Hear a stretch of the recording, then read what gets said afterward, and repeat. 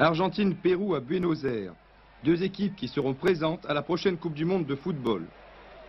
Ce match compte pour la Coupe Ramon Castilla. L'équipe d'Argentine qui joue à gauche marque le premier but par Haussmann. À la mi-temps, Argentine 1, Pérou 0.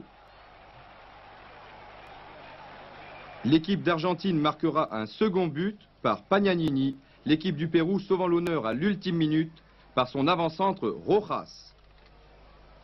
Score final 2 buts à 1 pour l'Argentine.